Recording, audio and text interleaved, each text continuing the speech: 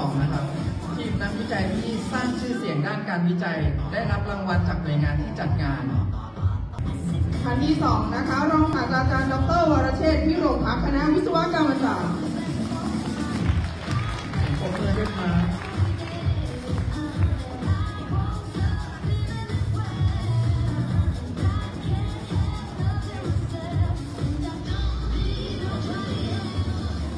กลุ่มต่อไป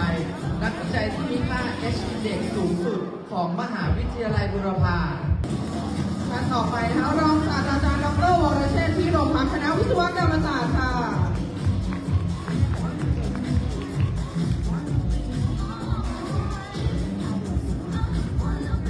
ตอนนี้บางท่านจะเริ่ม เอ่อเขาเรียกว่าเชี่ยวชาญกับการเดินพรมแดง เพราะว่าขึ้นมาทุกรอบนะคะ ขึ้นมาหลายรอบด้วยนะคะค่ะเดี๋ยวขออนุญาตเรียนเชิญถ่ายรูปนะคะรูป